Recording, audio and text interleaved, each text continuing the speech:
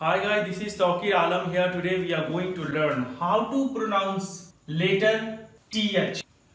Friends आज के इस वीडियो में हम सीखेंगे कि लेटर TH का क्या आवाज़ होता है जैसा कि आप जानते हैं TH का आवाज़ द और थ दोनों होता है तो फिर हमें कैसे पता चलेगा कि कब हमें TH का आवाज़ थ कहना है और कब हमें द कहना है तो चलिए फ्रेंड्स स्टार्ट करते हैं फ्रेंड्स अगर आप मेरे चैनल पर नए हैं तो चैनल को सब्सक्राइब कीजिए और बेल आइकन को प्रेस कीजिए ताकि मेरा लेटेस्ट वीडियो आप तक सबसे पहले पहुँच सके। फ्रेंड्स जब टी एच के बाद ई आई वाई हो तो टी एच का आवाज़ द होता है।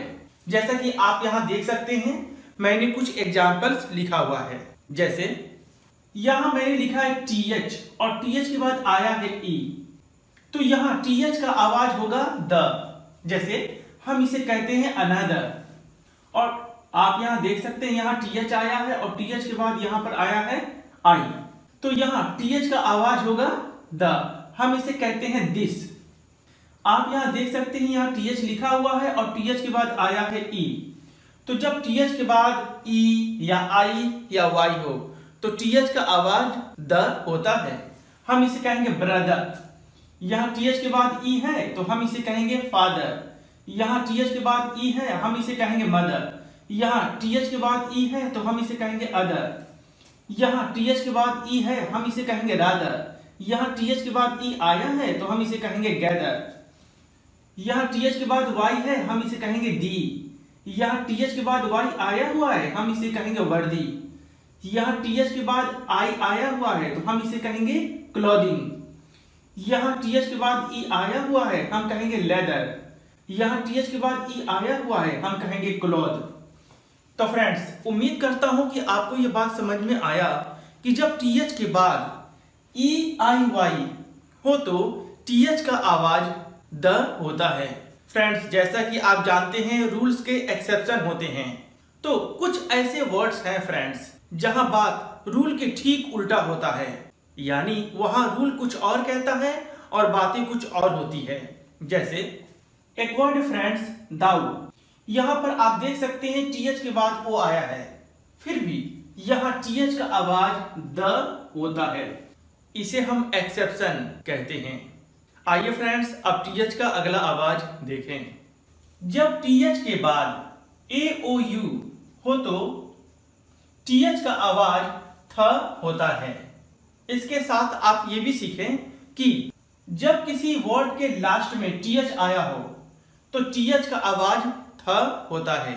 यानी अगर मैं बात मिलाकर कहूँ तो मैं कह सकता हूँ, जब टी एच के बाद ए ओ यू आया हो या टी एच लास्ट में आया हो तो टी एच का आवाज़ थ होता है।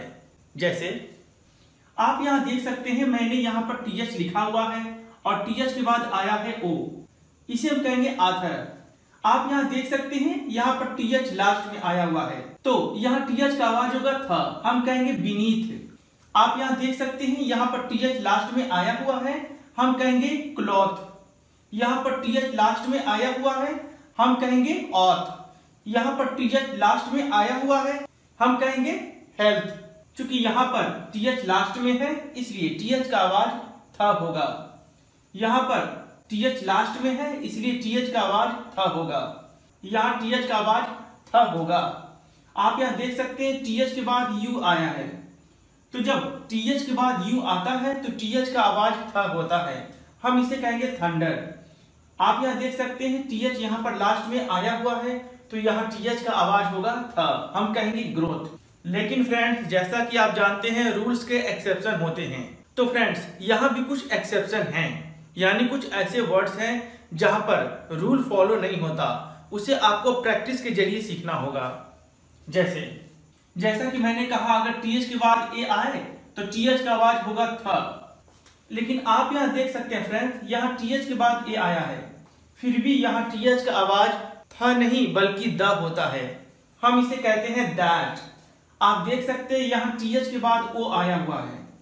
तो जैसा कि आपने सीखा टीएच के बाद अगर ओ आए तो उसका आवाज़ होता है थ लेकिन यहाँ पर टीएच का आवाज़ द है, क्योंकि ये सभी वर्ड्स एक्सेप्शन हैं। हम इसे कहते हैं दोज। आप यहाँ देख सकते हैं टी एच के बाद आई आया हुआ है, और मैंने आपको पिछला रूल में सिखाया, जब टी एच के बाद ई आई वाई हो तो टी एच का आवाज़ द होता है। तो यहाँ टी एच के बाद आई आया हुआ है, फिर भी यहाँ टी एच का आवाज़ द नहीं बल्कि यहाँ टी एच का आवाज़ थ है। हम इसे कहते हैं थिंग। आप यहाँ देख सकते हैं टी एच के बाद ई आया हुआ है। और मैंने अपने पिछले नियम में बताया, जब टी एच के बाद ई आई वाई हो तो टी एच का आवाज़ द होता है। लेकिन हम इसको कहते हैं थीम। यानी यहाँ टी एच का आवाज़ द नहीं, बल्कि यहाँ टी एच का आवाज़ थ होता है। आप यहाँ देख सकते हैं टी एच के बाद वाई आया हुआ है। तो अगर रूल के अकॉर्डिंग देखें तो यहाँ टी एच का आवाज़ द होना चाहिए। लेकिन यहाँ टी एच का आवाज़ द नहीं, बल्कि यहाँ टी एच का आवाज़ था होता है।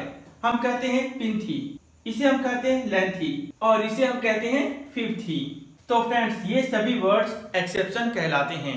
इन्हें आप खास तौर पर याद रखेंगे। तो उम्मीद करता हूँ फ्रेंड्स कि आपको टी एच का आवाज़ समझ में आया होगा। अगर आपको वीडियो अच्छा लगा तो प्लीज़ शेयर ज़रूर कीजिएगा। फ्रेंड्स आज के इस वीडियो में हम सीखेंगे कि एस का साउंड क्या होता है या एस का आवाज़ कैसे समझें। फ्रेंड्स जैसा कि आप जानते हैं एस का दो आवाज़ होता है, पहला स और दूसरा अस्क तो चलिए एक एक करके देखें कि कब आपको एस का आवाज़ स कहना है और कब आपको एस का आवाज़ अस्क कहना है। तो चलिए फिर स्टार्ट करते हैं। फ्रेंड्स जब एस के बाद ई आई वाई हो तो एस का आवाज़ स होता है। फ्रेंड्स मैंने यहाँ पर तीन एग्जाम्पल्स लिखा हुआ है ताकि आपको अच्छे से समझा सकूँ।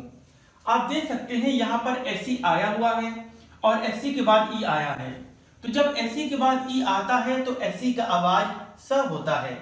हम इसे कहेंगे सीन आप यहाँ पर देख सकते हैं यहाँ पर एस आया है और एस के बाद वाई आया है तो जब एस के बाद वाई आता है तो एस का आवाज़ होता है स हम इसे कहेंगे साइड आप यहाँ देख सकते हैं एस आया है और एस के बाद आई आया है तो जब एस के बाद आई आता है तो एस का आवाज़ होता है स हम इसे कहेंगे साइंस तो फ्रेंड्स जब एस के बाद ई आई वाई हो तो एस का आवाज़ स होता है आइए अगला रूल देखते हैं। जब एस के बाद ए ओ यू हो या कोई कॉन्सोनेंट हो तो एस का आवाज़ अस्क होता है। जैसे, आप यहाँ पर देख सकते हैं फ्रेंड्स मैंने यहाँ पर एस लिखा है और एस के बाद आया है यू तो जब एस के बाद यू आता है तो एस का आवाज़ अस्क होता है। हम इसे कहते हैं रेस्क्यू आप यहाँ देख सकते हैं, यहाँ एस आया है उसके बाद आया है ओ। तो जब एस के बाद ओ आता है तो एस का आवाज़ होता है अस्क हम इसे कहेंगे स्कोर। यहाँ एस आया है और एस के बाद एक कॉन्सोनेंट आया है। तो जब एस के बाद कोई कॉन्सोनेंट आ जाए तो एस का आवाज़ होगा अस्क हम कहेंगे स्क्रॉल। आप यहाँ देख सकते हैं, एस के बाद एक कॉन्सोनेंट आया है, हम कहते हैं स्क्रीन। यहाँ भी एस के बाद एक कॉन्सोनेंट आया है, हम कहते हैं स्क्रैच। यहाँ एस के बाद ए आया है। और जब एस के बाद ए आता है तो हम एस का आवाज़ अस्क कहते हैं। यानी हम कहेंगे स्केन यहाँ भी एस के बाद एक कॉन्सोनेंट आया हुआ है। इसलिए एस का आवाज़ अस्क होगा। हम कहेंगे स्क्रिप्ट यहाँ एस के बाद यू आया है। तो जब एस के बाद यू आता है तो एस का आवाज़ अस्क होता है। हम कहेंगे स्कम यहाँ एस के बाद ए आया है। इसलिए हम इसे स्कैर बोलेंगे। तो फ्रेंड्स उम्मीद करता हूँ कि ये बात आपको समझ में आया कि जब एस के बाद ए ओ यू या कोई कॉन्सोनेंट हो तो एस का आवाज़ अस्क होगा। आइए फ्रेंड्स अगला रूल देखें।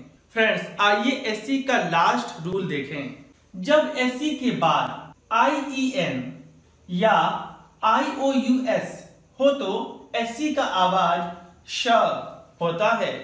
जैसे, आप यहाँ देख सकते हैं यहाँ पर एस लिखा हुआ है और उसके बाद आई ओ यू एस आया हुआ है।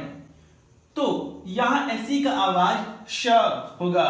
इसे हम कहते हैं कासस। आप यहाँ देख सकते हैं यहाँ पर एस लिखा हुआ है और एस के बाद आया है आई ओ यू एस इसलिए इस वर्ड का आवाज़ होता है लशश। आप यहाँ देख सकते यहाँ एस लिखा है और एस के बाद आई ई एन आया है। तो जैसा कि आप जानते हैं, अगर एस के बाद आई एन आए तो एस का आवाज़ श होता है और इसका आवाज़ है कॉन्शस तो उम्मीद करता हूँ फ्रेंड्स कि आपको यह बात समझ में आया कि अगर एस के बाद आई ई एन या आई ओ यू एस हो तो एस का आवाज़ श होगा। फ्रेंड्स अगर आपको यह लेसन समझ में आया तो बताएँ। यहाँ एस का आवाज़ क्या है? मतलब क्या यह एसी का आवाज़ स, या, अस, या, श है? आंसर ज़रूर दीजिएगा। मैं आपके आंसर का वेट करूँगा। फ्रेंड्स अगर आपको यह वीडियो अच्छा लगा तो प्लीज़ इसे अभी शेयर कीजिएगा। मेरे कॉन्फिडेंस के लिए ताकि मैं हर रोज आपके लिए एक नया लेसन ला सकूँ। फिर मिलते हैं एक नए वीडियो में। तब तक के लिए बाय